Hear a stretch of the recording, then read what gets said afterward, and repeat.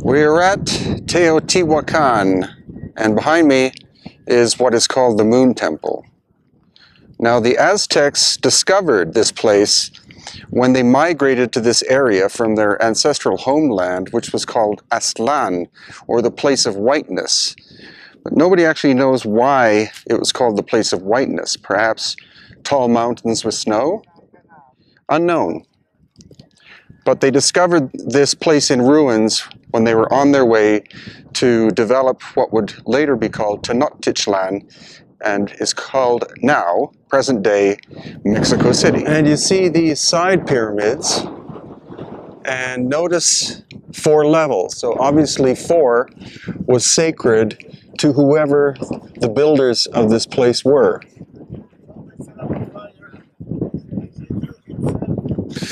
Behind me, you can see, is what is called the Temple of the Sun. Now, the Aztecs, again, on their migration from the north, named these places, but we have no idea who or what names the original builders gave them. What I'm going to be looking for are possible remnants of megalithic work, and that, hopefully, would help to let us find out if there were people here, builders, even before the construction of these magnificent temples that we're looking at now.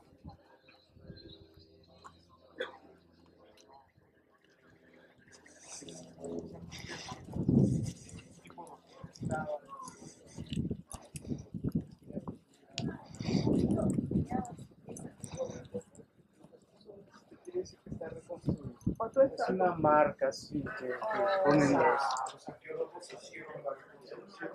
bueno, la otra hipótesis de Teotihuacán es que los teotihuacanos cuando se van eh, And this is the temple of Quetzal in, in Teotihuacan. And this has been revealed by the Mexican archaeologists. Some of the colors that you can see were the kind of the original colors. And Quetzal was a very important bird, a mystical bird. In the center of this temple, there was like a little lake uh, where the, the people, the priests, uh, were able to study uh, the stars. Yeah, so this is a celestial chamber. By looking at the reflection in the water, then they could see the positions of the stars.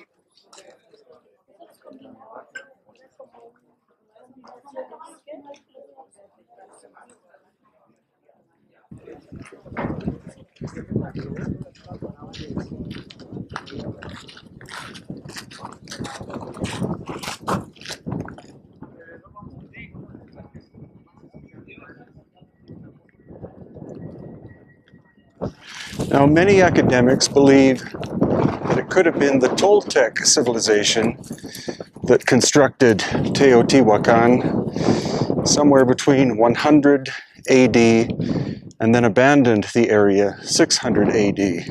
However, there are others that believe that the site is even older than that, possibly thousands of years older.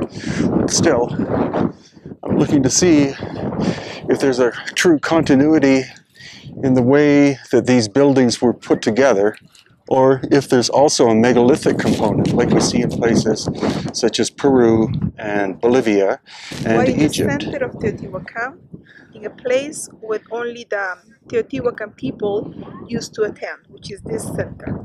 And in this center that we're standing, um, the priests came and did the ceremony. Ah, and that's why it's also situated right in front of the Temple of the Moon.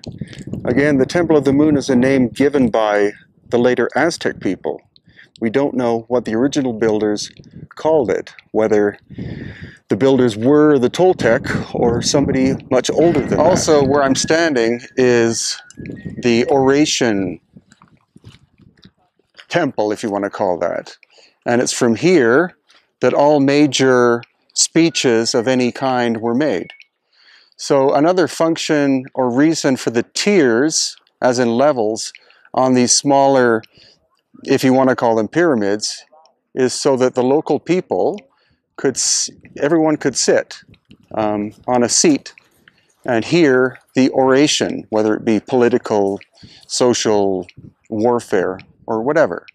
So the acoustics were very important for the people being able to hear what the speaker had to say, but there may be more fundamental reasons for the acoustics as well.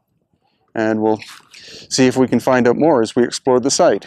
So originally, according to our guide, this was not the exterior, but this was. It was all covered in a type of stucco, and every single one of these buildings was actually red in color, which is different because in places like uh, Peru, for example, anything lunar or moon related would be white, and anything red would be sun related. So the entire city, ceremonial city of Teotihuacan, was supposedly red. This is the pyramid of the moon. It's uh, 48 meters tall. than the sun pyramid It's uh, 66 meters tall. Right here we have uh, 48 steps. Then the sun pyramid is uh, 240 steps to climb. Its shapes, it has uh, four bases. Uh, someone says the season of the year, summer, autumn, spring, and winter. There was uh, the legend say was a temple right on the top. Uh, inside was an idol, rock idol covered with gold. When the conquerors came, they destroyed that and take the gold out. So because for the indigenous from Teotihuacan, doesn't doesn't have any value. The gold, the metals. Right, gold was symbolic, but it didn't have a money value. And gold is symbolic of the sun in many cultures. This is the famous Avenue of the Dead. And it was called that by the Aztec as they were entering this place for the first time, stumbling over this huge abandoned ceremonial complex. They believed that the little pyramidal structures on either side were tombs, and therefore they called them, or they called this place, uh, the Avenue of the Dead. But as far as I know, no uh, major discoveries of tombs on or in these little structures have been found. Uh, in this mural, we can see uh, a jaguar, which was the protector of the land, and the red the red lines that you can see is uh, represents the, the motherland or Mother Earth, and this was this jaguar was uh, protecting uh, the land after the the peasants worked the land for protecting to have a good harvest, likely. And the circles that we can see, there was the stone jade also, but all of that were were taken by by the Spaniards when they came here.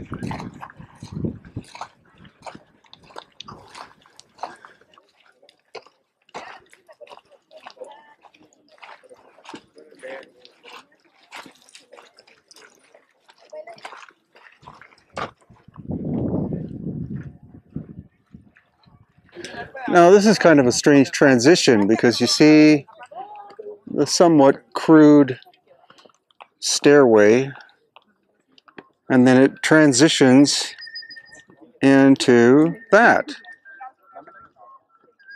It is possible that this stone, which is of a different nature than this stone, this could have been recycled from something else because it's much more refined. The surfaces are much more refined than here.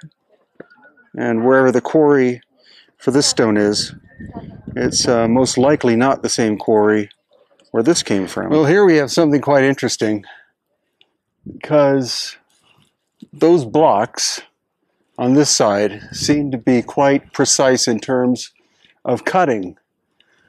And uh, in comparison, the material on top is inferior. And it looks likely that the material on top was done after this work on the bottom. The staircase as well, it looks like there's no mortar in between the stones, quite precision joinery.